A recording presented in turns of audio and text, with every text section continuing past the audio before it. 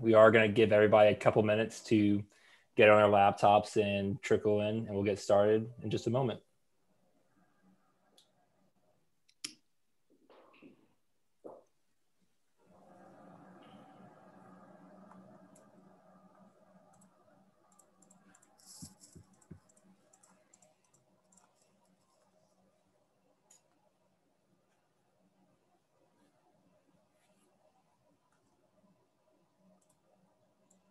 Afternoon, everybody. Thank you all for joining us here for our panel, The State of Advertising in New Orleans. My name is Drake Glatter, Marketing Strategist at Cox Media and Programming Chair for AAF New Orleans. This panel is brought to you by AAF New Orleans, which provides networking and continuing education opportunities for advertising professionals across the greater New Orleans area. A large thank you goes to Tulane School of Professional Advancement. They generously allowed us to use their panel technology and power this event. Tulane School of Professional Advancement boasts award winning advertising, public relations, digital marketing, graphic design, and interactive programs. With us today, we have Dustin Woehrmann, owner and creative director of Communify, Jeff Zehnder, CEO of Zehnder Communications, Matt Preuett, agency director of Mesh NOLA, Cleveland Spears III, president and CEO of the Spears Group, and Michelle Edelman, president and chief strategy officer at Peter Mayer. Next, I will pass the mic to my co-moderator and program director of digital design, public relations, and digital media marketing at Tulane School of Professional Advancement, Amanda Garcia, for a forward to preface our conversation today. Thanks, Drake. Hi, everybody. Thanks again for having us today and welcome to the State of Advertising. Um, as Drake mentioned, I'm the director of the digital uh, media and design programs here at Tulane SOPA. Just want to give you a little background. About 18 months ago, uh, we made a decision to retool our media degrees to better align with workforce expectations. And then about six months into our research, the pandemic hit. Uh, Tulane in-person learning came to a dramatic halt. The way we thought about creative education was forced to pivot. Uh, students and faculty were met with new challenges we were not fully prepared to tackle, as you can imagine. Uh, collaboration and critiques via Zoom were a little bit like pulling teeth at the beginning. Uh, lectures that, that, were once like peppered with intermittent questions and conversations were now met with muted microphones and sometimes cameras that were off. But this didn't mean that our work to make our programs better could stop or should stop. So we did a deep dive into the facts, where we stood in all of these various industries that we're here to talk about today where we're going. You know, we factored in uncertainty and a dose of ambition. And I'm happy to report that 18 months later, we have newly approved and retooled majors and certificates. But really, what did we learn, right? Like, what did we uncover? So I wanted to give you a quick little peek at what we found when we were doing research for these new programs. So, and I'm focusing on the good news. I'm, I'm the deliverer of good news today. Uh, so the Bureau, Bureau of Labor Statistics predicts a 6.4% growth growth in employment for public relations and media professionals over the next 10 years in the greater New Orleans DMA. So that's 6.4% growth predicted over the next 10 years within the areas of PR, media, and media related fields. Um, additionally, they predict about a 6%, so about the same, a 6% increase in employment in digital media and digital marketing sectors, again, within the greater New Orleans DMA. But where does that leave us if we take the pandemic recovery into account, right? Because of course that all of these numbers were predicted prior to 12 months ago. Uh, so fortunately, if we look at other global markets, um, the US decline in advertising dollar spends were actually not as pronounced as other global markets. Obviously, there was a decline. Everyone on this call was affected, right? Whether you're in the education sector, private sector, public sector, we were all affected. Uh, but because the US has a, a, strong digital marketing presence, it wasn't as bad as it could have been. Um, and on that same note, looking at 2021 forecasts by Publicis and Magna, um, they are seeing an 8% increase in digital ad buys and within the US itself and a 4% increase in traditional media spending is anticipated. So that's the good news. Obviously, it's 8% from where we are now, not 8% from where we are 12 months ago, but they are seeing an increase. Um, they also believe the return of consumer mobility major events, maybe even festivals, uh, and economic recovery will obviously prompt, you know, more industry verticals to grow their advertising budgets in 2021. And the long-term trajectory that we're seeing um, is shifting even more toward a digital-centric marketing environment, right? I mean, that's that's to be expected. So aside from statistics and growth projections, we also interviewed many of you on this call about what you saw coming in 2021 and what you expect from your employees and new graduates. And what we learned, what we took away was that you want someone who is nimble, able to roll with the pandemic punches, uh, someone who's agile, smart, and a creative problem solver, someone not afraid to learn new things and to thrive in their job or to take on new responsibilities to help the entire team thrive and the agency survive. And that's why we created not only these bachelor's degrees, but also uh, professional certificates so that students can come into our programs online at night, on the weekends, and learn new skill sets to meet their new changing job responsibilities or create a new path for themselves. So we did this with your help and guidance, and we really appreciate your help. So we are hopeful. Uh, we look at 2021 as an opportunity to prepare students with a new set of skills to meet your expectations um, and the industry's expectations to create a more success uh, successful story for the greater New Orleans market in general. So thanks. We really appreciate your help. And now we're going to go into our panelist questions. Awesome. Thanks, Amanda. Of course. It's no doubt that 2020 changed the way clients spent money on creative and media.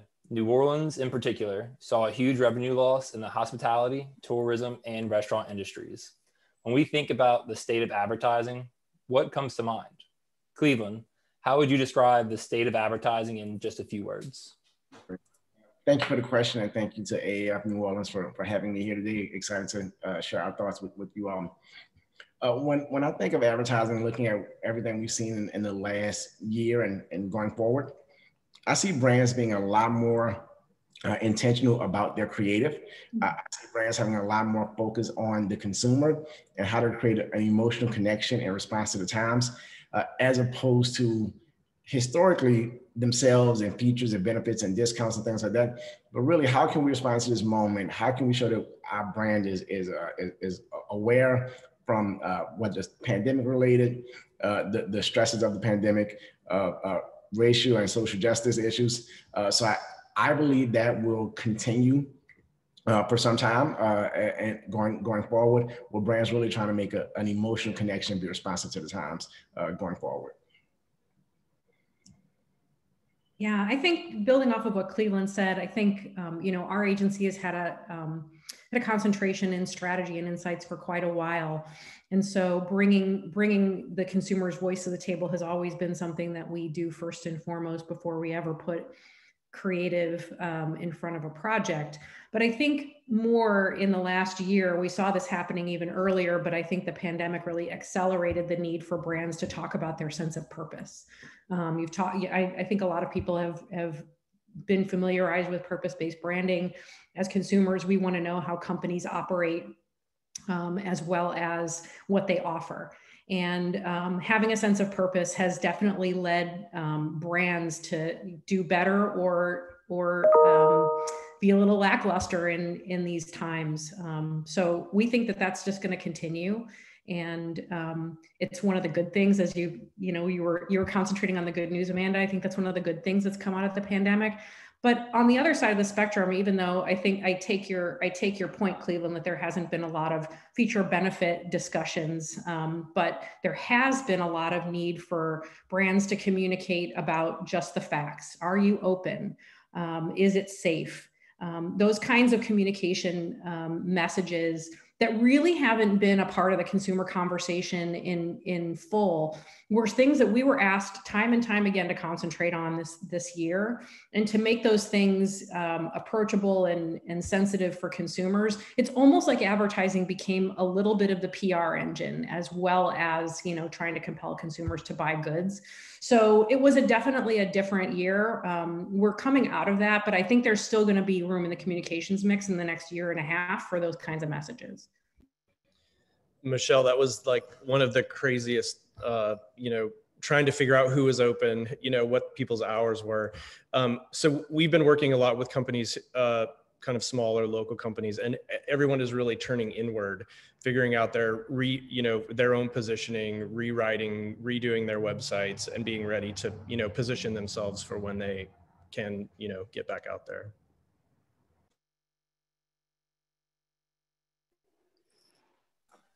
I was just going to add from a different perspective in terms of the state of advertising in New Orleans. I, would look at it as being kind of challenging. I think that this year, particularly, we've always looked at New Orleans as a great place to attract employees because of the culture. Um, you know, people just love being in the city and all that it has to offer. And I think this year was very, very challenging. Um, you know, we've actually had some employees that are now remote in other cities because they just were so upset about the shutdowns in the city. Um, and and I really hate to see that because I think that's one of our best assets that we have to offer. So I just cannot wait to see us open the doors more often. Absolutely. I mean, those are all amazing points and definitely reflecting inward, you know, that that is that is very interesting. And just to follow up on that you know reflecting back on 2020 2020 should i say can you identify can any of you identify maybe a lesson that you learned right? Like something that you had to do differently perhaps um, that will carry you on moving forward something that you will continue doing beyond um, beyond the pandemic perhaps? I'm going to punt this over to matt yeah, kind of, I guess, jumping on to what Jeff was saying is, you know, remote work was something that, you know, we all we we all thought about, but never really thought we would have to embrace it as much as we had. And while a lot of people look at it as a, a big challenge, we kind of looked at it as an opportunity. And even though, you know, our agency's been around for 18 years and gone through multiple transformations, it's one of those things by embracing remote work, we were able to look at okay, can we look at different markets that we could hire people in? Um, uh, Amanda, you talked earlier about just kind of the, the job market in general. You know, we had 50,000 plus people in the advertising industry lose their jobs. And so um, while we are in a kind of a smaller market, um, it really gave us access to new talent, new opportunities, new networks to tap into that we otherwise might not have had the ability to you know, without all of this craziness. Can I add on that, Amanda? Um, you know, I think, and Matt, you know, you guys at, at Mesh have done a really good job of expanding your, you know, depth and breadth with multiple offices and, and new locations. It's funny how the pandemic really reminds me a lot of Katrina, um, Hurricane Katrina, and how we all had to pivot. Um, and it was funny going in or coming out of Katrina. I felt like we had this wonderful emergency preparedness plan that just got turned completely upside down. And then I thought nothing can possibly upset this apple cart again. And then the pandemic hit, the shutdown. Um, so I think there's just lessons that we learned. We learn every day, right? This, this willingness. So my takeaway was this willingness to adapt to change. Um, you know, a moment ago, our viewers and you all probably saw the top or the bottom of my dog's head popping up on my lap. Uh, and that's just what we have to roll with now, right? Screaming babies, barking dogs, drop Zoom calls. Um, it, I don't know, it adds some interest to it. But it's funny that when we were talking before the, this started, um, you were talking about students who turn their cameras off. I think in a lot of ways, the, the use of video, we had this technology. We were lucky we have three offices in three markets. So we were already using Slack as a major communications channel, but we weren't even using the video portion, which is just crazy to believe now in hindsight. And I think this has added a dimension where I know our Nashville team talks about feeling closer to our New Orleans team than they ever have because now we're seeing everybody together on a call. So, you know, there's that's a positive I think out of. Yeah, I think I think that's you know operations really stands out. I think that's what everyone's really talking about as the things that you know were were the most profound in terms of adaptation. I mean, we're our agency is very familial. Um, we we are a very tight team. We really love spending time with one another. If you ask people at Peter Mayer what's their favorite thing about their job, they will always say the people, their coworkers. Um, they tend to hang out outside the office together, and all of that really you know it, it it had to evolve. You know we you know from from having big groups of people kind of aligned around a whiteboard all writing to how are we going to translate our tech solutions to meet the culture in the middle a little bit? And so learning how to use collaboration tools that mimicked in-person brainstorming that allowed us to be together um, socially um, it's not it's not perfect right it isn't the same right but but um, the fact that we've lasted a year doing it this way, and quite frankly, um, have kind of learned the place of video and and remote meetings versus when is it really important to be in person. I think those learnings were were actually pretty fantastic and i think they're going to stand us in good stead going forward particularly when you think about the speed of client business. It's been client business has been speeding up for for a long time you know since since digital marketing started to really take off. I think clients have turned around and said you know we need to communicate at the speed of the consumer. And so being able to to, to hop on a quick zoom call i think the the walls you know it, it's much more organic. There's not you know without walls to be able to do something like that. So i think we've learned we've learned and be able to operationalize some of the some things that actually were pretty healthy um, by by force. And the one thing that was interesting for me as an as a leader, and I'm sure I'm sure everybody has gone through this, is that in the beginning it was like, oh my God, you know, like how are we going to operate? I mean, Jeffy talked about, you know, kind of creating ways of operating during Katrina. It was sort of like, what's our mode of operating? And getting on calls with other business leaders, it didn't matter whether you were a 20 person company or if you were UPS. Nobody had the playbook and we were all trying to figure it out. And so in some regards that was comforting. It's not it was it, it's like everyone was going through it not just the city of new orleans but everyone that you talked to in every business sector was really trying to trying to figure this out. And so it gave us license to it almost gave us license or fuel to feel like we could make some mistakes you know the dog's barking the baby's crying you know trying to get technology up and running. That's kind it be, kind of became okay right? Whereas in the past you know if you were if you were from new orleans and, your client was as a lot of ours el- out elsewhere they're kind of like what are you guys doing down there? You know um, what do you mean you're not open on tuesday? Well it's mardi gras. You know you get things like that just does i think i feel like there's been much more openness in the business community because we've all gone through this together. Amen and one point, one point I'll add, and, and really uh, in, in alignment and agreement with the other panelists have said, and particularly Matt, and for folks on, on that's viewing us today that's either entering the, the, the, the job for, force, you know, coming out of college or, or changing job uh, career opportunities because of the pandemic, the, this uh, mobility of talent now and, and, just opening up so many more opportunities for the candidates, for the job seekers, but as well as the, the agencies and, and the companies uh, like, like ours. Uh, during the pandemic, we had a a very tenured, very senior member of our team. Uh, her husband was, was relocated and, and the family was, was moving. And prior to the pandemic, we believed that would have meant that we had to lose that piece of talent.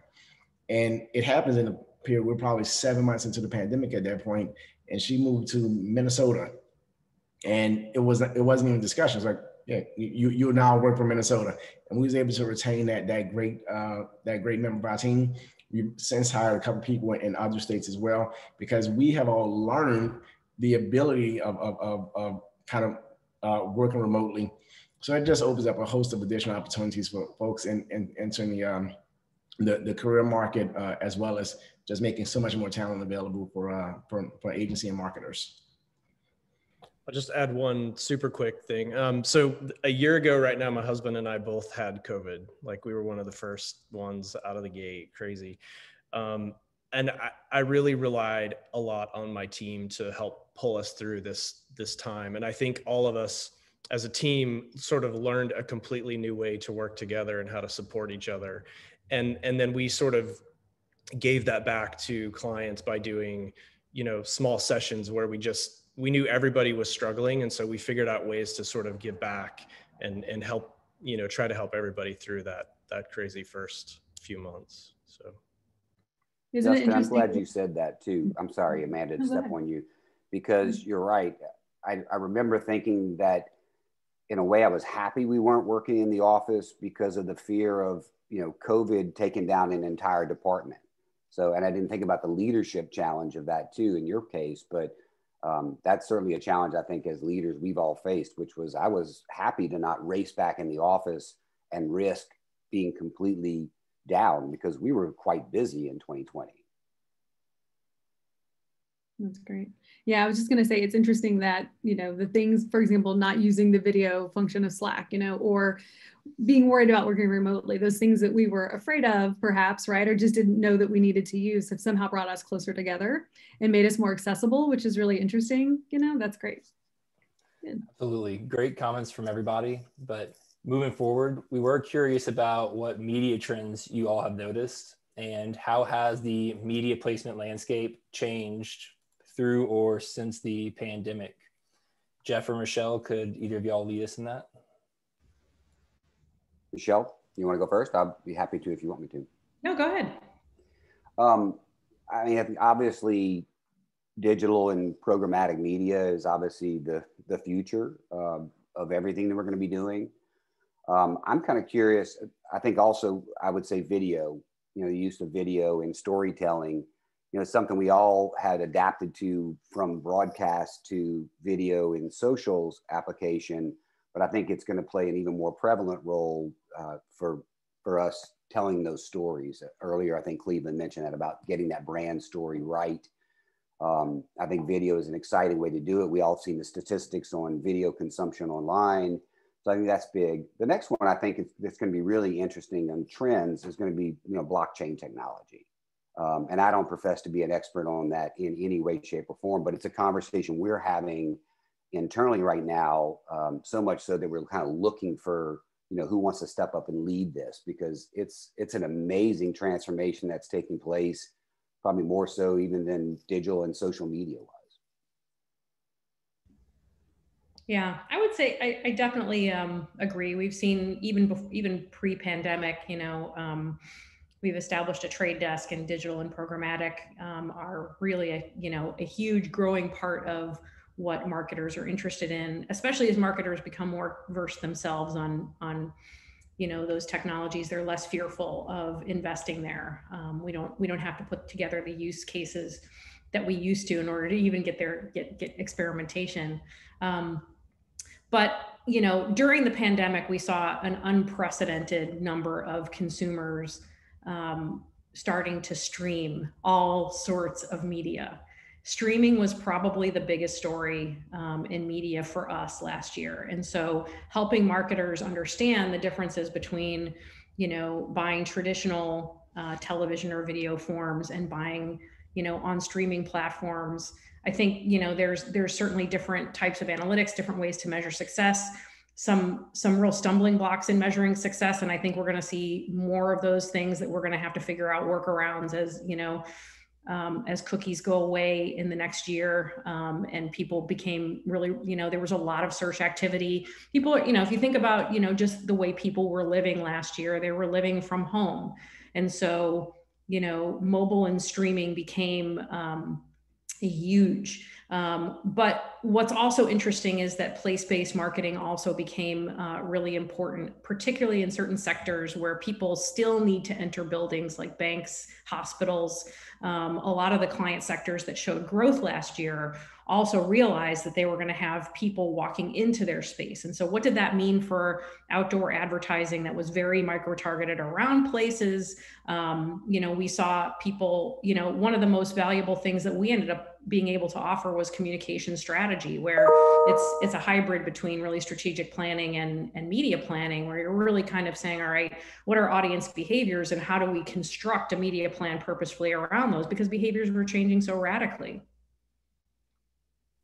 Yeah, I think the stat is seven hours a day now is how much media people are consuming on an average daily basis. And um, I love looking at those stats. I, I, completely nerd out about it. And I had our media team look at some things, you know, specifically to New Orleans that were interesting. But streaming service is one of those things. So the New Orleans DMA outperforms other DMAs in terms of the amount of people who are on streaming services, listening to podcasts.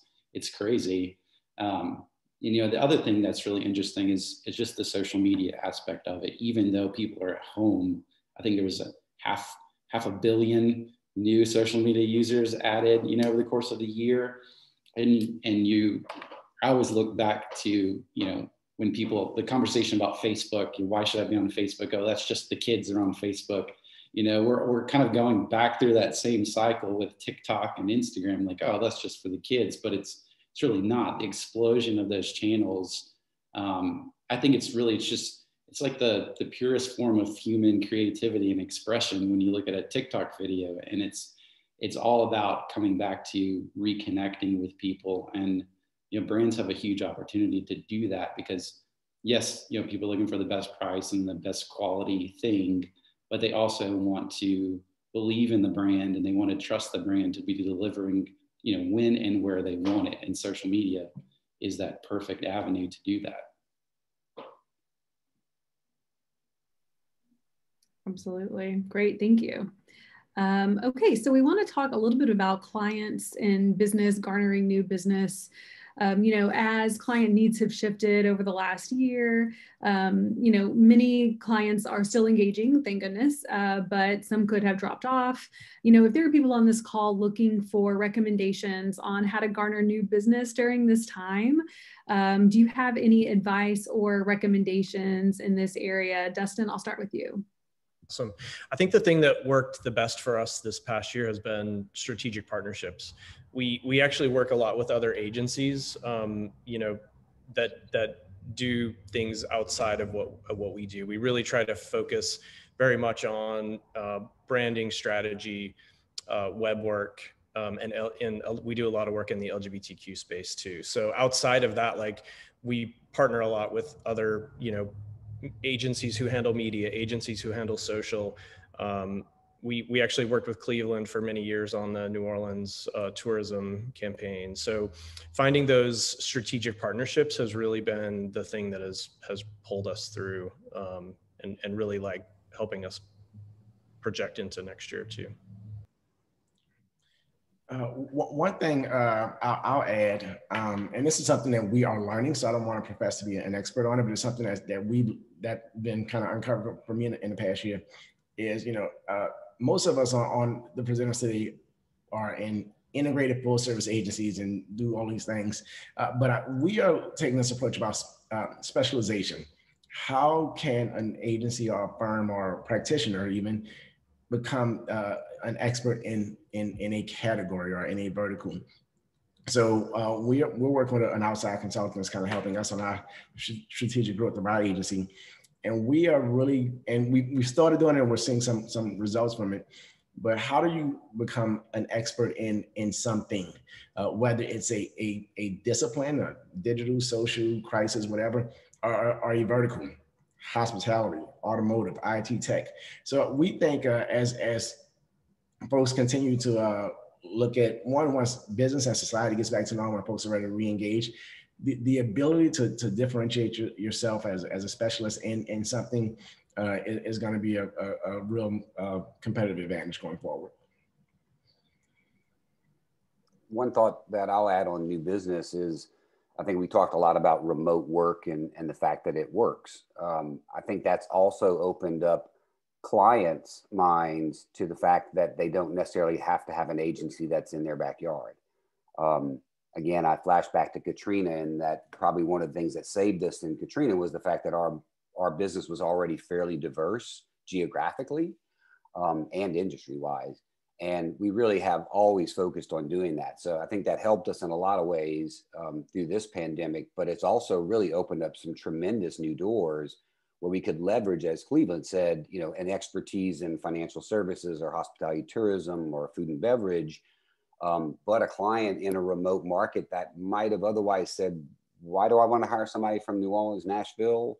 Um, would say, wow, you've got a great portfolio and you know, we're, we're going to work this way and, and hopefully in person in 21.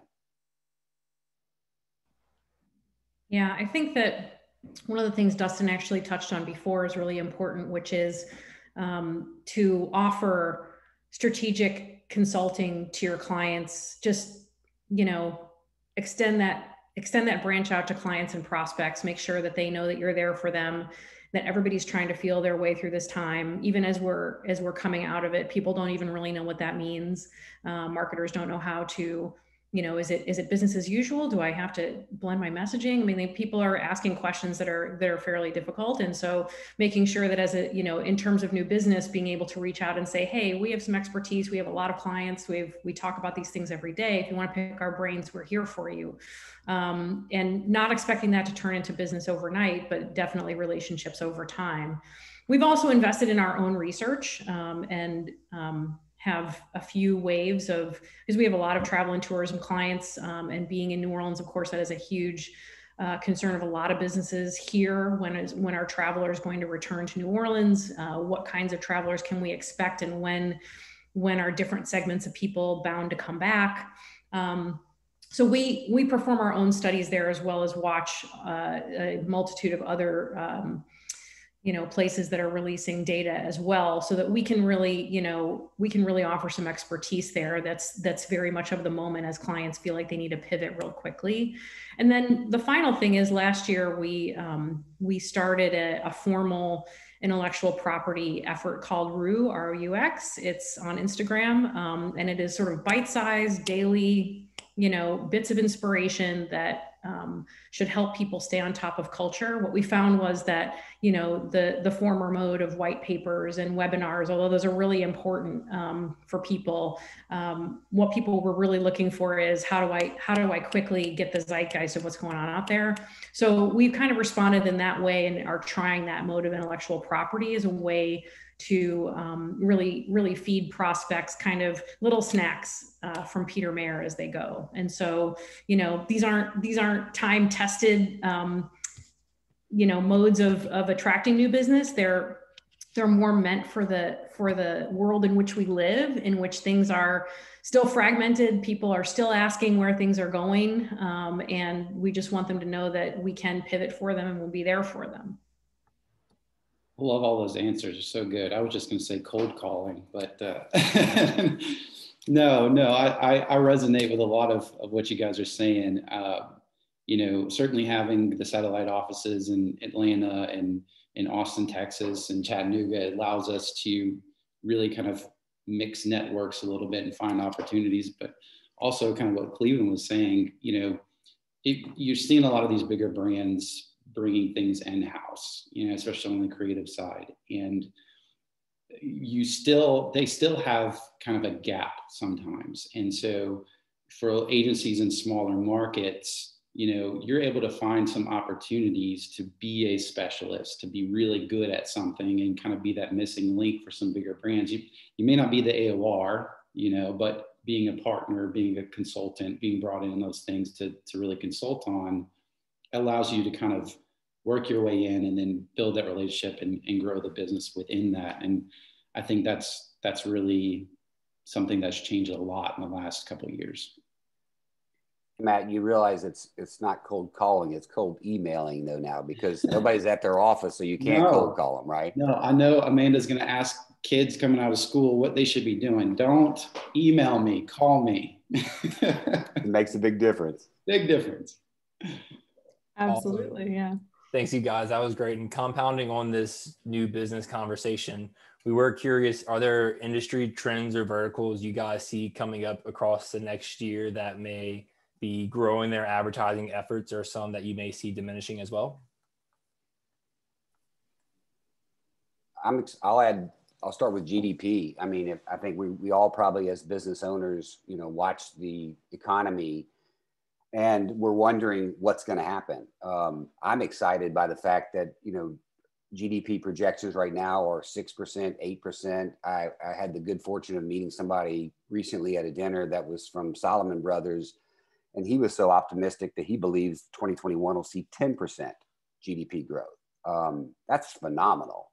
Uh, I think specific to New Orleans, uh, you know, I'm I'm more concerned because we have taken such a cautious approach um, at reopening.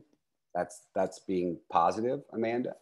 That uh, it is you know just really devastated the hospitality industry, uh, which is the industry in New Orleans in a lot of ways. So that's sad to see, but I am excited by the fact that I think that that's going to be a lot of money. I mean, we're going to see more stimulus money coming in, probably another two, three trillion dollars for infrastructure projects.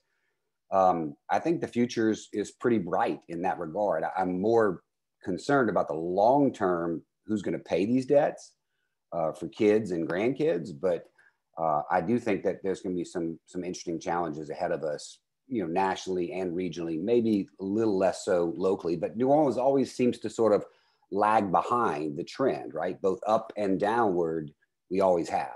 That that sometimes is good but sometimes it is bad. Yeah, I was just going to say, GNOE puts out a great economic dashboard uh, for the region that you can go in and see some interesting trends. And you know, we've um, we've experienced a decline in unemployment claims like consistently for the last several weeks. Um, you're seeing Louisiana exports start to be on the rise again. Uh, you're seeing a lot of things bounce back, but you know, certainly tourism and hospitality and small businesses, you know, are still not as open as as where they should be. But also, I hate to keep going back to the whole remote thing, but you know, I think it'll be interesting to see some of these bigger organizations who are allowing more remote work, um, where those skilled workers are going to go. Cleveland, you mentioned somebody going up to Minnesota or Wisconsin. I don't know why anybody would want to do that, but I would expect somebody, you know, more and more skilled workers moving from Minnesota, Wisconsin down to New Orleans, where we have warmth and culture and music and food. Um, and so I think, you know, we've always been this entrepreneurial community in New Orleans and having an influx of talent and kind of people moving back into the state, even though we've experienced loss of population the last couple years, um, should provide a lot of really cool opportunities. Okay. And I, will um, I'll add to, to what Jeff's uh, uh, said, and and I believe that there's a, probably a lot of um, uh, folks in in college or coming out of college uh, viewing us today. The there should be a lot of optimism about what does this rebound look like. You know, last time there was a, a, a global pandemic, it, it, ushered in the roaring 20s, and it was 10 years of prosperity. I've seen the reports projecting six uh, percent GDP growth. The, the, level of, of financial resources being deployed by the, by the federal government um, is, is so massive, it can't help but to spur uh, significant economic growth, and that will trickle across various industries, sectors, nonprofits, what have you. And obviously, that has the, the ripple effect through through the economy. Uh, so, you know, I'm, I'm uh, as, a, as an amateur economist, uh, amateur, I mean very amateur, I, am I'm, I'm very optimistic about the, the, economic outlook and then obviously what that'll mean for our industry as a whole from a, a, a brand spending power uh, as well as career and job opportunities for, for, folks in the industry. I think it's also um, Cleveland touched on it at the very beginning, but just the the fact that brands are really going to jump into this diversity and inclusion at, at, their core, and not just in what they're putting out for marketing, but really taking a look like deeply at their, you know, I mean, Dixie Beer just changed its name. We've seen a you know a, a slew of other companies really look at what what being truly inclusive means, and I think that is just going to be a, a huge change uh, over the next few years. Dustin, I mean, that's a really good point. And we actually had a question pop in that's very relevant. So I wanted to see if we could touch on it now. Um, the question was Cleveland mentioned a focus on social justice as one of the impacts of the past year. Uh, John asked, I wonder if he might tell us how, or any of you, how we can help our brands maintain this focus, right, as we're moving forward so we just don't turn back the clock after the pandemic's over.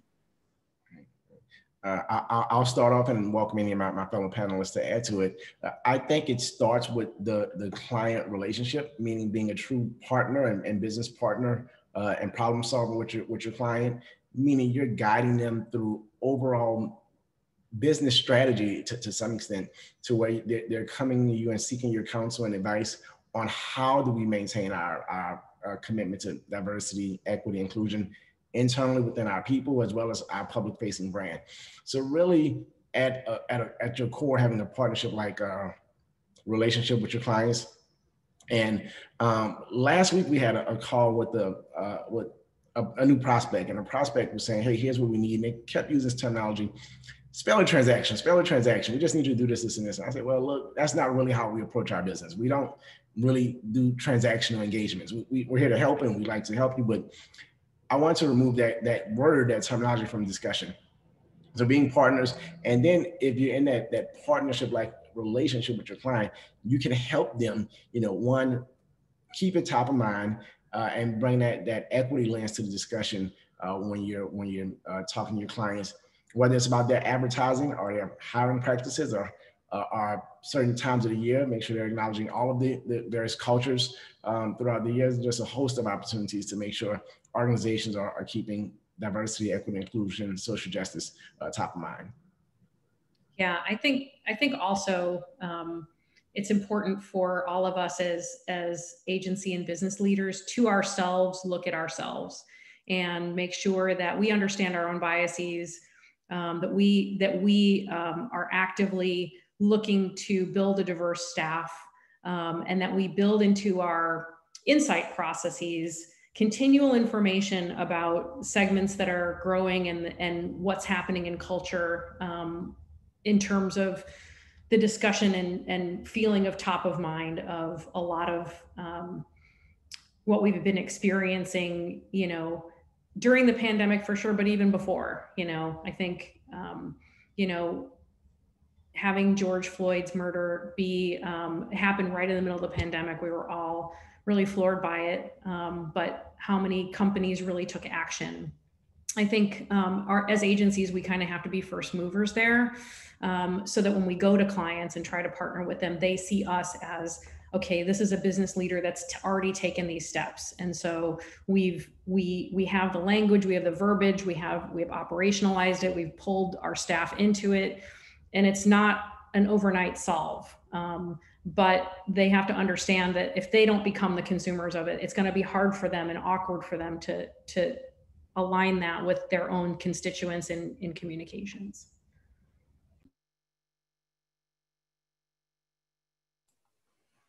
Awesome. Thank you all. That was great conversation.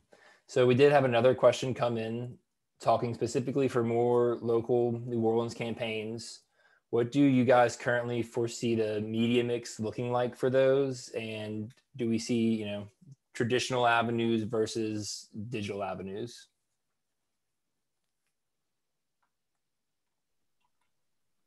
I'll jump in if you like. I, mean, I, the vast majority of our work is not in New Orleans, but I, I, think the I think the media mix is probably comparable in most markets, in the sense that this trans continued transition to social, digital. I mean, that's that's where the dollars are being placed. Uh, and Michelle brought up streaming earlier. I mean, how many of us remember six months, twelve months ago when you mentioned Hulu to a client, they were like, "Who? What?"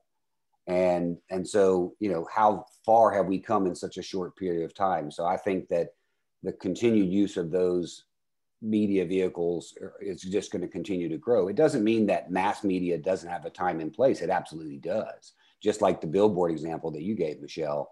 Um, but i just think digital and programmatic and just targeted media is going to be um, you know just continuing to grow in importance obviously with the caveat of what's the privacy you know issues going to be as those change with iOS updates and others.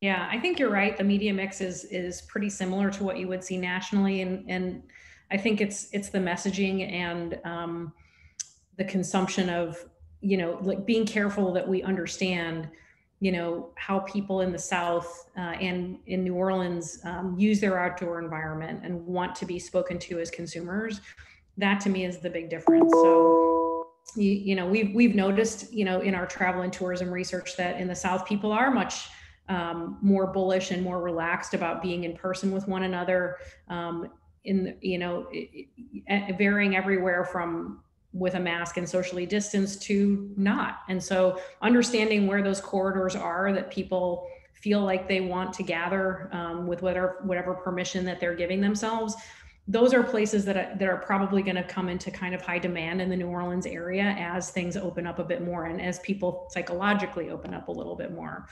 So um, those places are, you know, have finite media space.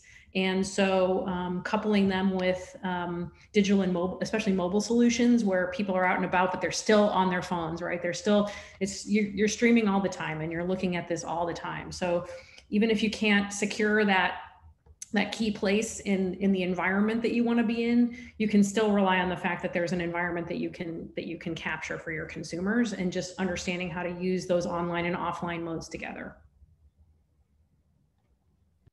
yeah so to sum up the answers it depends.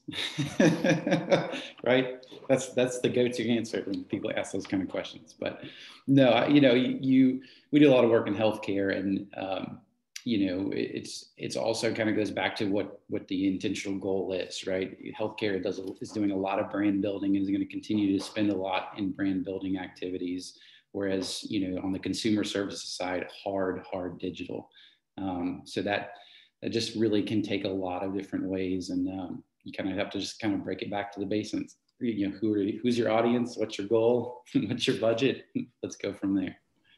I'm glad you mentioned the budget piece, Matt, too, because that is so much a part of it, right? Is that yeah. brands are able to do things even with small budgets. They just have to be really targeted and focused on how they do it. So, like probably everyone on this panel and everyone on this call, we all have clients who are, who have who come to us with grand ideas but very paltry budgets to get the job done. And we've got to be creative enough to say, you know, we can actually do this through promoted social, you know, digital, and and and get the job done in that big geography you want to target, even with a small budget.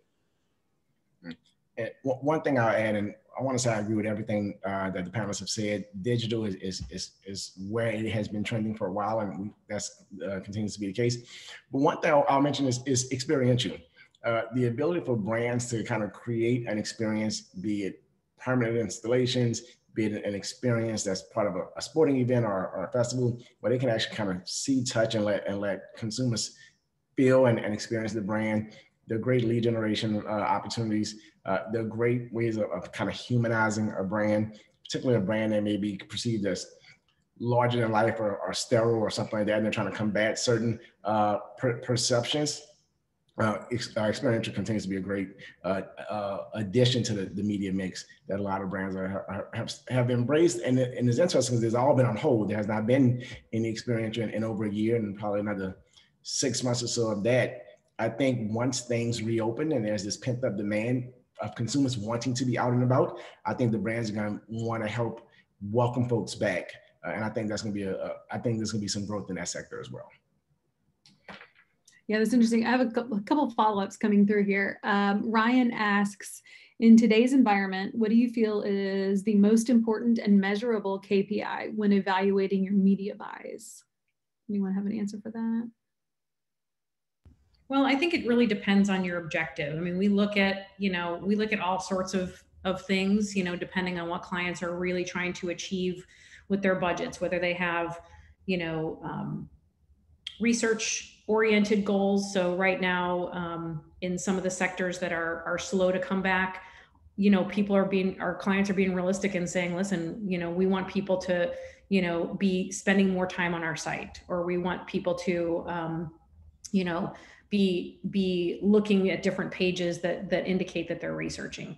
Other of our clients are like, we, you know, like in the healthcare sector it's like schedule an appointment for a covid shot you know i mean like it so it, it, it really spans the gamut in terms of what you're trying to achieve. And i think that um, a lot of what we've seen with our clients is sort of a back to basics kind of a feel where it's like all right i really want to see that through line from that very simple objective to to what's happening on my site.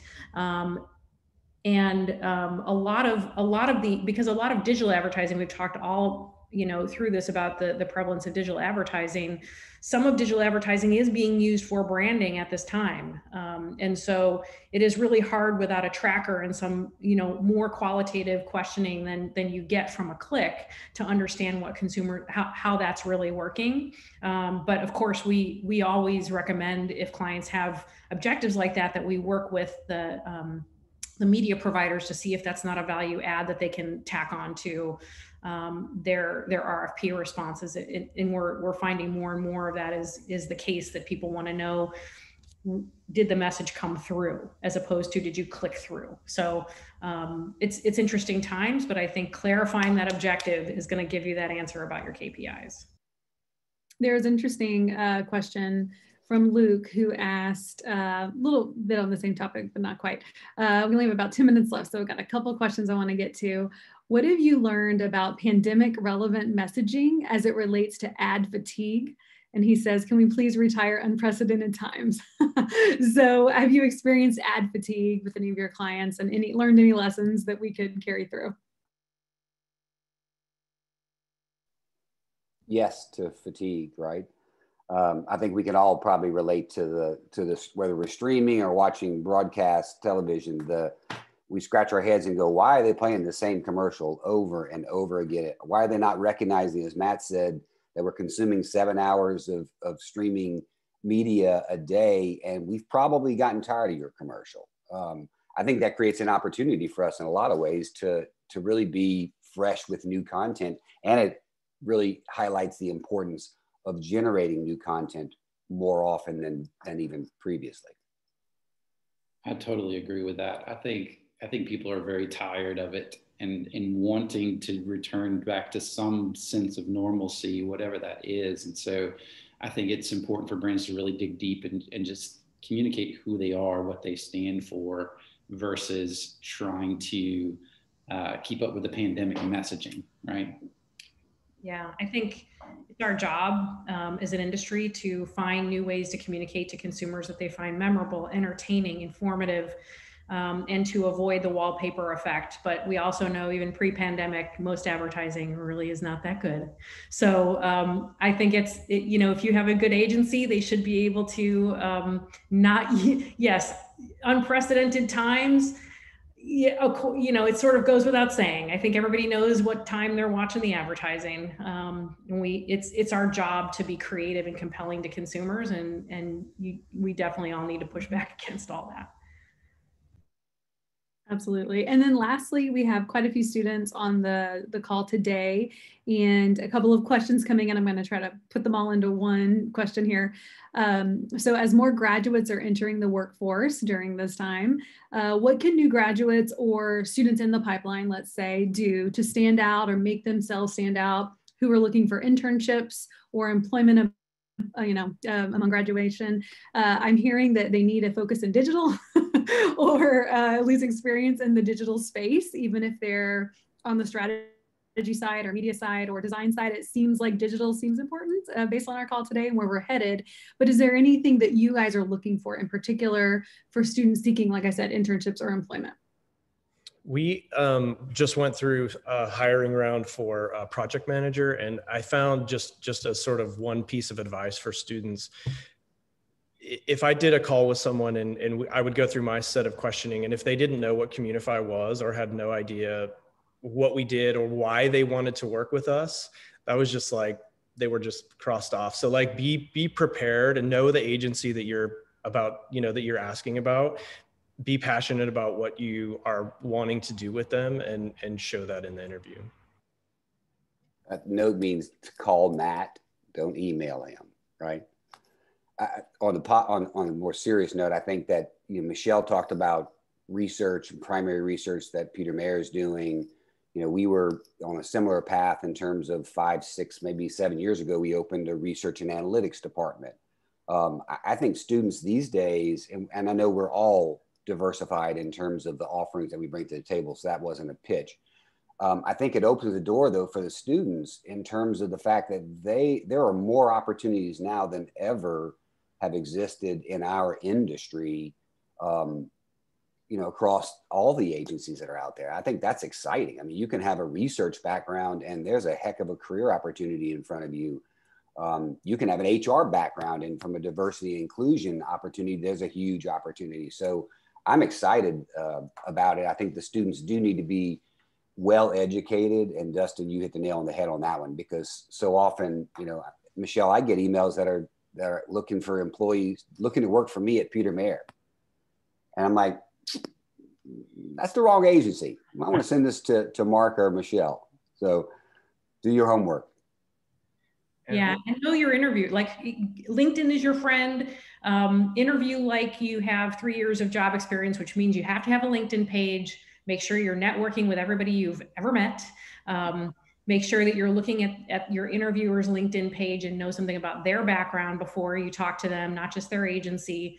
And we always recommend that people have some semblance of a portfolio site. Even if you're not a creative and you've never done that in your life, you've surely written a paper you've surely done a presentation that you can that you can put up for consumption and there's even ways to load that on linkedin now if you feel like oh i just don't want to put a separate site up. You can you can load some work samples. That allows us to see how you think. It allows us to see the depth of your work and how you write. And those are really really important skills for someone coming in at an entry level now. And the other thing i would say is don't give up. Like don't think that because you missed this round of of internships that you shouldn't get to know these agencies and you shouldn't start to target them over time.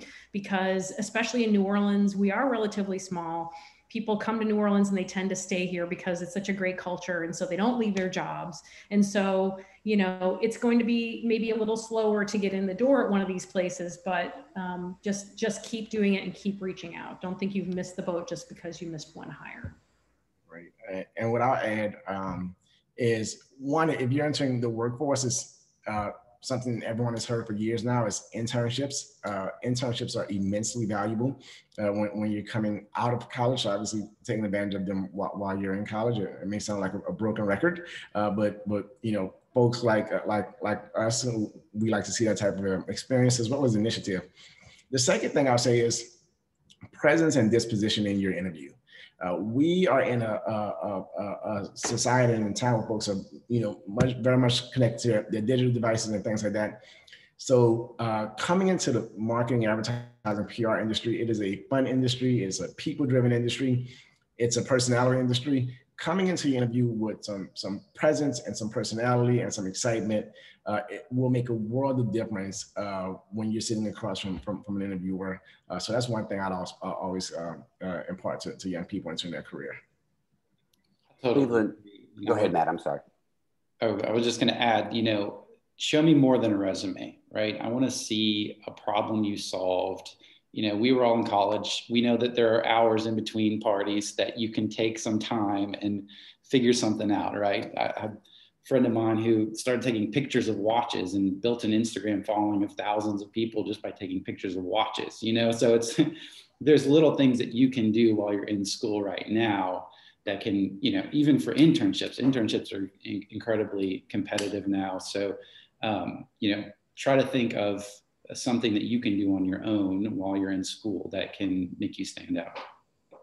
Just because it's relevant to the question of, of getting a job, I am curious to know how the other panelists are managing this issue of, you know, seeping culture into new hires, particularly with young people. You know, I know that with more experienced hires that we're doing, you're not as concerned about the remote work. You know, they're kind of coming to the table with experience and practice at doing it, but it's challenging. You know, Cleveland, you make a good point about uh, doing internships, but how many of us are able to really do effective internships right now with so few people in the office? So that's something I think the that maybe this panel has has insight to because we're struggling with trying to figure out how do we take on new hires and really embed the Zehnder culture into that.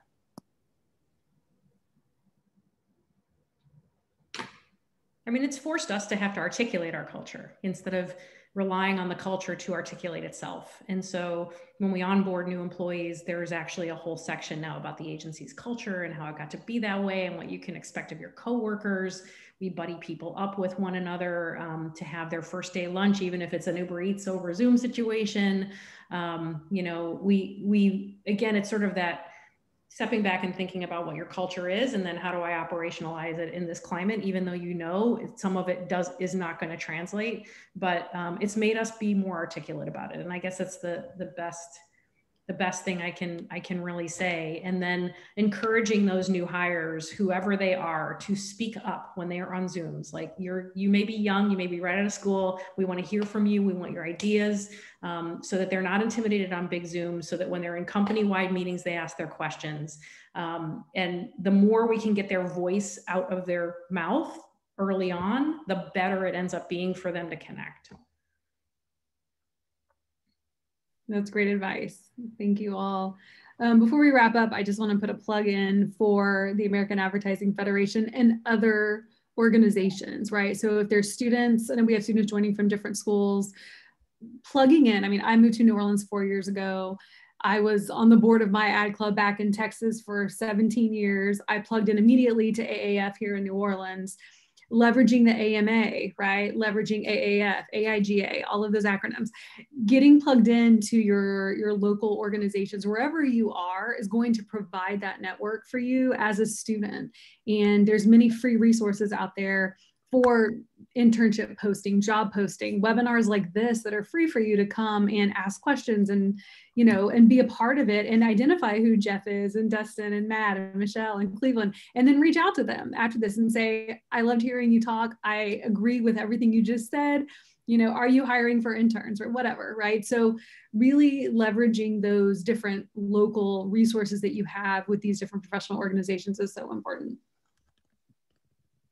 So we're just going to wrap up. Drake, do you want to close us awesome. out here? Yep.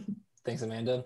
Really, I just want to send a big thank you to all of our panelists taking some of your precious time to prepare for this and meet with us today, and all of our attendees who have joined us as well. Another thank you to Tulane School of Professional Advancement for making this possible with your technology. And as our panelists and Amanda have discussed, networking is important. Well, AAF New Orleans is here to aid in that. Follow AAF New Orleans on Facebook and sign up for the newsletter on our website for more information on additional events in the future. Thank you all, and we definitely look forward to doing another roundtable in the future. Yes, absolutely. Thank y'all so much for joining us. So good to meet all of you. Have a great Thanks day. Bye, everybody.